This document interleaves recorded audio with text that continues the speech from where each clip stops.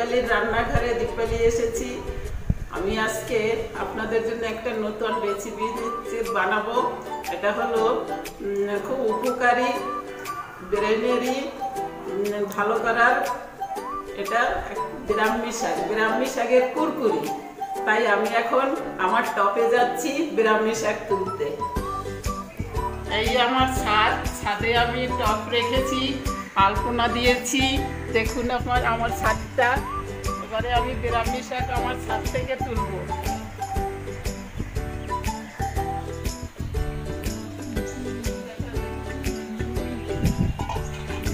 এই আমার গ্রাম শাক। টপে দেখুন।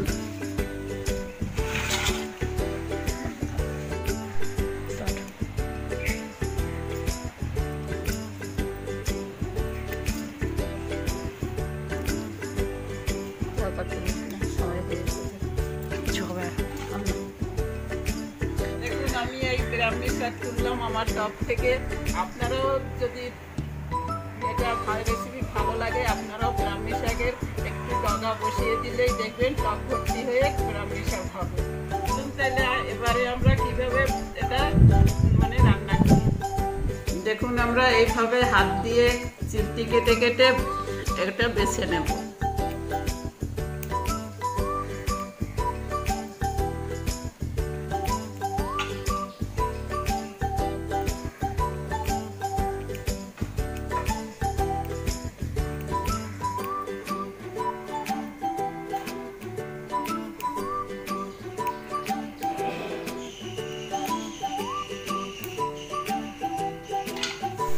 দেখুন বন্ধুরা, আমি এখন এটাতে শুধু নুন দিচ্ছি।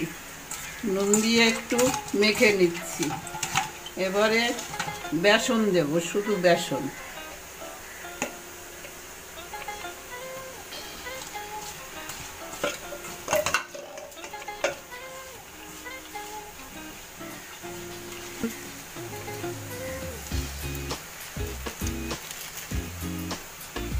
অল্প করে বেসন দিলাম যাতে এটা পুরো একটু ঝুরঝুরে মতো থাকে। এটা যাতে দলা পাকিয়ে না যায়। এবারে কড়াইতে তেল দিলাম। এবারে কড়াইতে তেল দিচ্ছি। তেলটা একটু বেশি দিতে হবে। কড়াইতে যদিও রয়ে যাবে।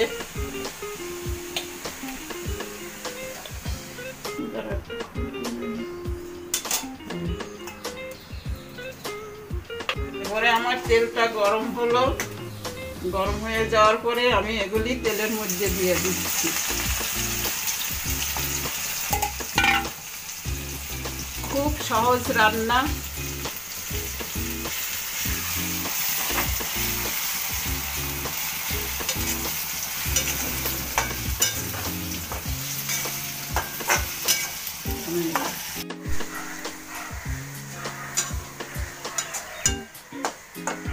আমাদের রান্না হয়ে গেল। এবারে এটা তুলছি।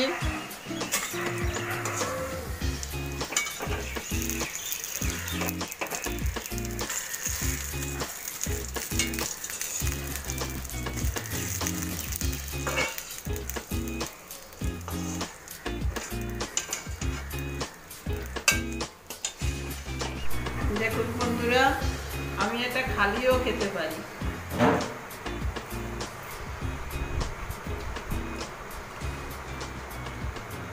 কেমন মুসমুসে দেখুন, আওয়াজ হচ্ছে পর্যন্ত।